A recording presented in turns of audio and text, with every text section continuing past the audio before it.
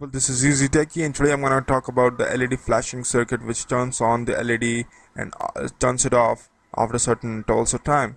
So this is a pretty interesting circuit and this circuit actually uses a triple five timer IC in an astable operating mode which generates a continuous output at pin 3 in the form of a square wave and as you see in a square wave the lower end the lower part actually goes to 0 and the upper part goes to certain magnitude because of this, the LED turns on and turns off at the output.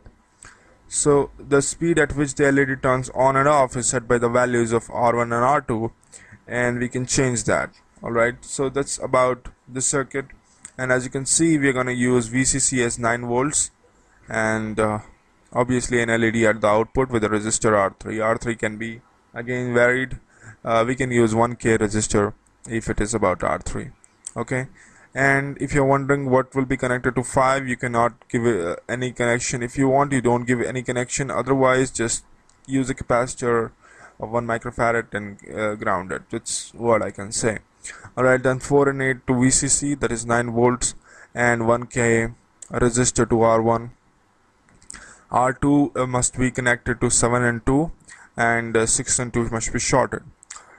Capacitor 1 microfarad capacitor that is C1 must be connected to 2 the positive end must be connected to 2 and the negative end must be connected to ground. That's about the circuit. So once we have learned the circuit we can go ahead carrying out the experiment and seeing and verifying if the circuit is working right so now that we are practically examining the circuit, as you can see, the LED is flashing on and off after certain intervals of time. And I'm connected 9 volts battery source is a VCC, IC any triple five IC, and capacitor and other equipments as you can see. So we have finally verified the circuit for flashing LED on and off. Thank you.